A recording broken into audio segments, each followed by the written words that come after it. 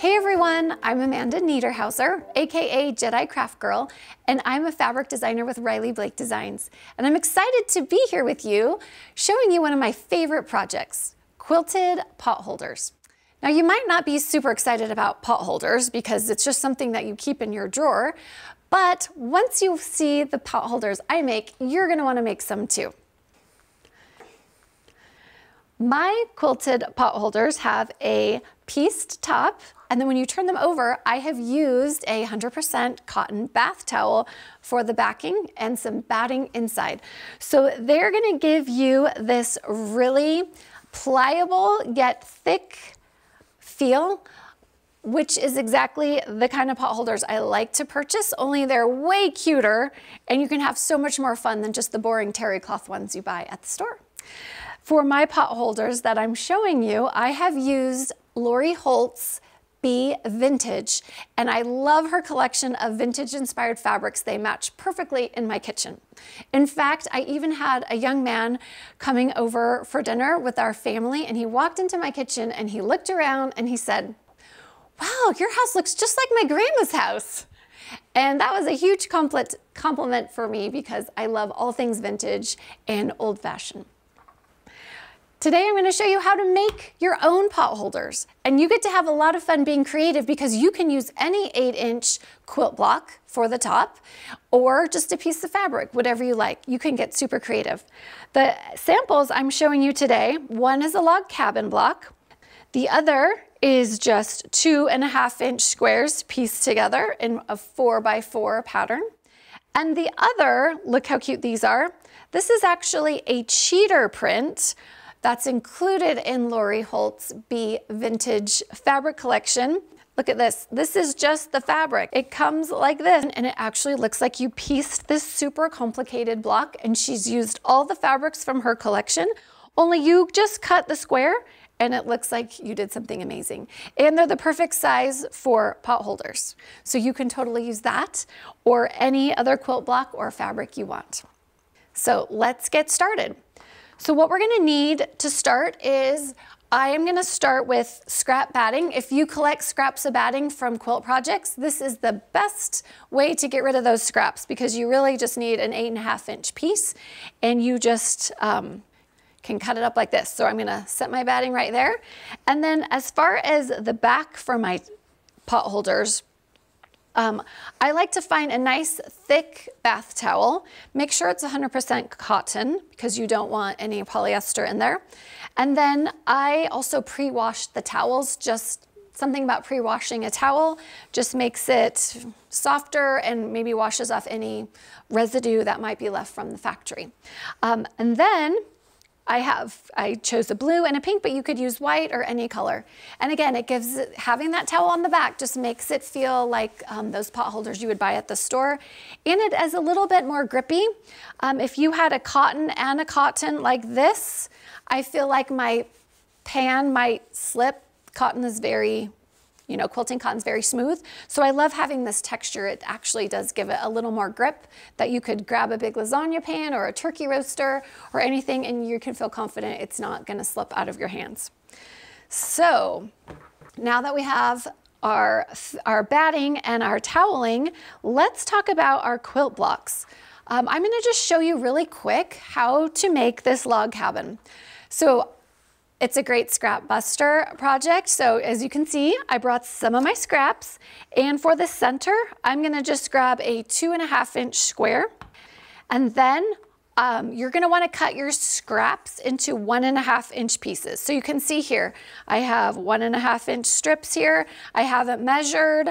Um, I'm not worried about the length. I just cut whatever I had up and that's gonna be good enough for me because it's just gonna be a grab and go project. So right now I'm gonna grab a two and a half inch square and maybe grab one of your smaller lengths of one and a half inch strips. I'm gonna go over to my sewing machine. I'm not even gonna worry that it's not the right length. And I'm gonna just sew a quarter inch seam right along the edge there. And then I'm gonna go over to my pressing station gonna heat set the seam and then just flip it back. I am gonna cut those strings because they're bothering me. Like that. I'm gonna just use my little clapper. And then I'm gonna just take my rotary cutter and just trim, and I'm gonna use that two and a half inch square as my guide to just trim that extra off. And now I'm gonna continue my log cabin. So now I'm gonna just take another strip I'm gonna line it right up like that. Again, I'm not worried about length here because I'm gonna just chop it off. And this is super forgiving. So if it ends up being slightly over or under the eight inches, no one's gonna know.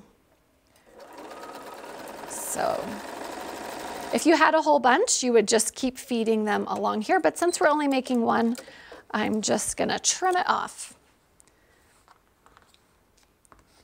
Okay, I'm gonna go to my, and then you just press out. So you're gonna continue the same method and keep adding one and a half inch strips until you've made it all the way around. And then you're gonna start the next row. I'm gonna give you a little math quiz. Okay, if we want these to finish eight inches plus seam allowance, how many strips will we need on each side if the center block finishes two inches? So these all finish one. So to get eight, we have eight. We're gonna have our two inch and we're gonna add two, three, four, five, six, seven, eight inches. So we're gonna do three rings, three log cabin rings around, and that's gonna give you eight inches finished.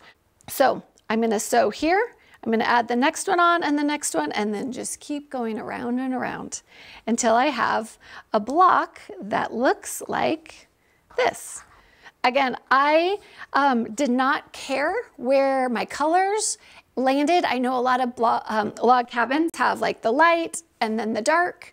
Um, and it makes a beautiful pattern, but we're just making a hot pad and I wanted it to look scrappy.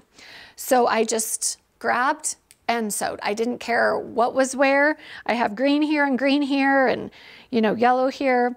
Um, but when it's all quilted like this, it just kind of looks fun and scrappy, and that's what I was looking for. So you can really have a lot of fun, a lot of no pressure, just grab and go. It's very therapeutic to just, you know, throw caution to the wind and let the fabrics fall as they may.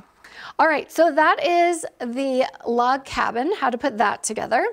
And then really quick, this block is just two and a half inch squares um, sewn together. So I have, you would just lay them out like this. Again, I didn't really care. I just maybe didn't have two yellows right next door to each other. And I just grabbed like this. Look how cute that is. I'm not even really planning. I probably wouldn't do that. I would probably, you know, mix those around and put that there and just kind of so nothing's touching each other. And then you're just gonna sew it together in four by four. And that's gonna give you an eight inch finished block. All right, now that we have our tops done, and if you're using the cheater print, you just cut that one out. We're going to layer our towel. So here's our towel. And I want this side, this kind of terry cloth side to be facing out. And then I have my batting and my quilt block or cheater quilt block. And I'm gonna layer it like that. You can use a little spray basting or add a few pins if you want, if you feel like it's gonna shift. Um, I wouldn't get too crazy with the quilting and do like free motion. This is thicker than a quilt. So um, your sewing machine may just want to do some straight stitching instead of getting too fancy because it is quite bulky, but it's definitely doable with a walking foot. So you can see here I've quilted this and how I've started is I just straight stitched a diagonal line this way and this way to secure. And then I use this painter's tape and I'm just gonna put it along here and then that's gonna be my next seam guide. And then I'm gonna move it here.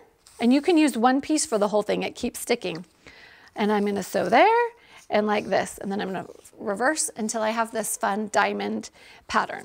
And so this worked fine on my walking foot. I wouldn't have got any tighter. I feel like that's gonna be too much quilting. I feel like this is the right amount of quilting for the thickness and what this project requires. And I think it's so cute. I love um, diagonal grid quilting. Okay, so now that our quilting is all finished, what we're gonna do is we're going to trim, um, which does remind me that when you are layering, I'm okay if the batting and the towel is a little bit showing beyond the quilt block because sometimes things tend to shift and if you cut it right at eight and a half inches, which is what this block measures, you might end up with a little more on one side or not enough on the other. So I'm okay with just a rough outline like this with a little hanging over because now we can trim it up. It does help to have a, a, new rotary blade because this is thick and if it's dull, you end up sawing it, which just doesn't look pretty. So I have a nice sharp rotary blade and that's gonna just cut that nice and even. I'm just following the edge of my quilt block. And I'm gonna just trim this up. Okay, look how cute that is. So to finish, we are going to sew binding on um, all four corners, just like you would a quilt. Okay, here's, here's a few options. You can do your favorite method, which is great. And I actually, on these ones, I hand bound the back. So just like you would, you would sew it on like this and then fold it over and hand tack it down. Now, if you're gonna be laundering these a lot, a lot of uh, washing machine action and a lot of kitchen use, I would maybe sew it on with the machine, which isn't as pretty, I know, but you could sew right in the ditch and catch it, and that's gonna really be extra durable if you feel like the hand binding might not stand up to the washing machine. But I was going for looks, and it looks so much nicer to do hand binding. Look how cute that is. It just finishes it so perfect. And you only need one with the fabric, two and a half inch strip to do all four corners. So that's nice. You just need one strip and boom, you've got your binding.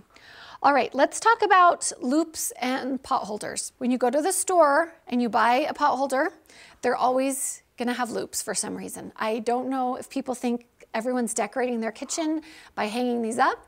But when I have a big loop here and I go to get my lasagna out of the oven, sometimes it gets into the pan or it's in the way. So I have chosen to not add loops to mine. One, it's way faster. Two, I don't hang them up. So that is optional. Optional if you want a loop on yours, you just add a little loop um, if you want to hang it, and that's up to you. But I chose not to add the loops. Um, also, um, your binding, you don't need to cut on the bias because everything is straight. Now, a lot of times when you have a pot holder from the store, they have a curved corner. And if you want to make this into a curved corner, maybe you're not into corners and you want points, you would just take like a glass or something round and draw your little curved edge right there and trim that. And then you would bind um, and you wouldn't miter the corners. These are mitered because they're pointy. If you wanted curved, you would need to use binding cut on the bias so you would get a nice curve. So that's something to keep in mind. If you're like, oh, I want to have a curve, then you would need to cut your binding on the bias. This binding from Lori is actually printed on the bias, so it's not cut on the bias, which is fun because you only have to cut one strip and not a bunch of diagonals. So I do love that. Okay, something else we need to talk about. I did say you can use any eight and a half inch, eight inch finish quilt block to make the top of your pot holder.